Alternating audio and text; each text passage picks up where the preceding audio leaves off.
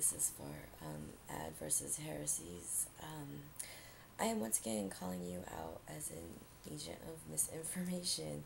You just answered my video, which I did throw together like really quick because, as I said, I I'm not doing your research for you. I threw three um, credible references um, over the top, um, pointing towards the fact that um, the Vatican and the Catholic Church has plenty, um, more than enough wealth to feed, clothe, um, health care for the entire world.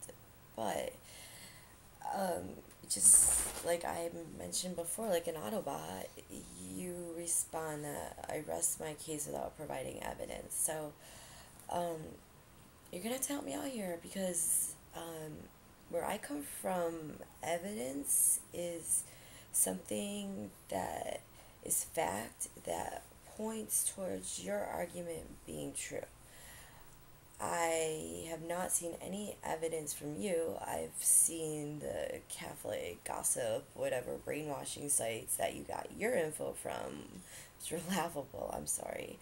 Um, and that's what I'm afraid you're only getting your um, research from, which I'm sorry um, is not credible.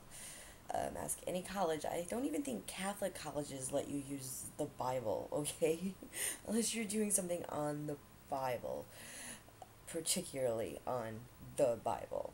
Okay, I could be wrong on that. I definitely did not um, venture near any Catholic colleges. Um, however, I'd like to think that.